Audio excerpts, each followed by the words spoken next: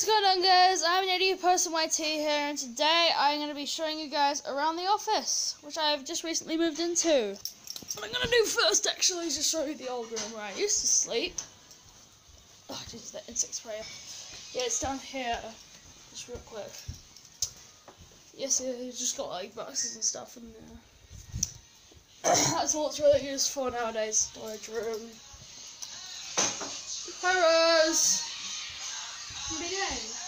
I'm vlogging. I'll, because I want to. Alright, coming out here. Right, let's go to the office. The orifice, as my mum would say. Um, okay, let's get the key in there. Got it. Now, let's open up.